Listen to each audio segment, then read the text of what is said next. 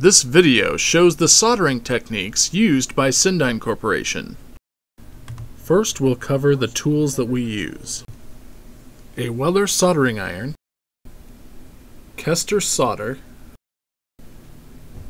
and either a Weller PTA8 soldering tip or the PT08, which provides a finer tip.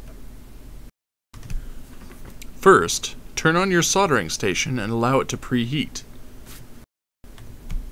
Make sure to add water to the cleaning sponge. Remember to clean your soldering tip often. Apply solder to the soldering tip. Next, pre-tin the connector pins by touching the pin with both the soldering tip and the solder. A common mistake is to apply solder to the soldering tip and then use the tip alone to transfer solder to the connector pins. Pre-tin the wires in the same way the connector pins were tinned. Notice how often the soldering tip is removed from the shot in order to clean off excess solder. After each wire is tinned, add shrink tube to each individual wire, unless two wires are planned to be double solder to one connector pin.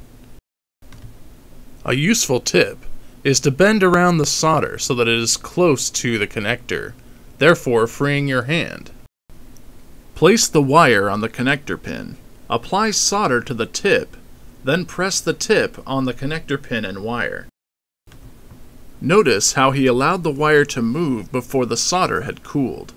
Make sure to hold the wire steady on the connector pin until the solder has cooled for the best possible connection.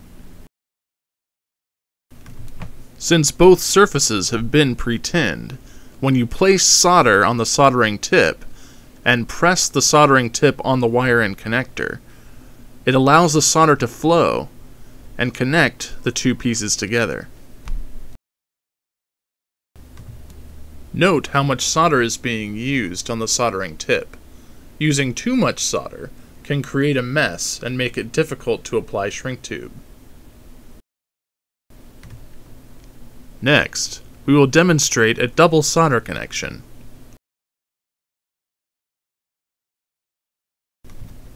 First, position both pre-tinned wires so that the wires are connected together. Next, add some solder to your soldering tip. Apply the solder to both wires, connecting them together. This helps both wires to stay together when they're being placed on the connector pin. Don't forget to apply shrink tube to the two connected wires before attaching it to the connector. Position both wires on the connector pin.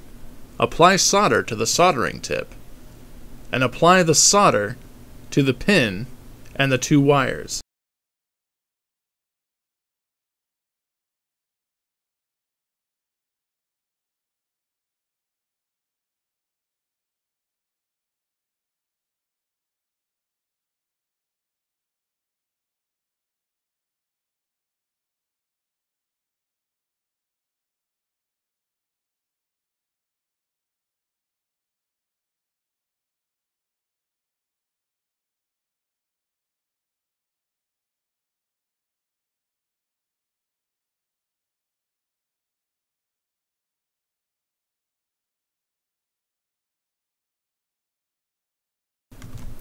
Once all the connections have been made, remove the connector and inspect the upper and bottom portions to ensure a proper solder flow has been maintained. Move the shrink tube on top of the solder connections. Turn on your heat gun and check for the proper temperature. Then apply heat to the shrink tube to allow it to shrink over the connection points.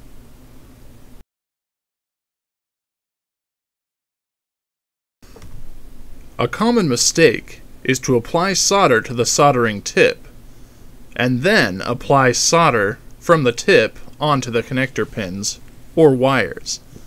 This does not allow the solder to flow properly Results can be achieved, but they are much more difficult to maintain.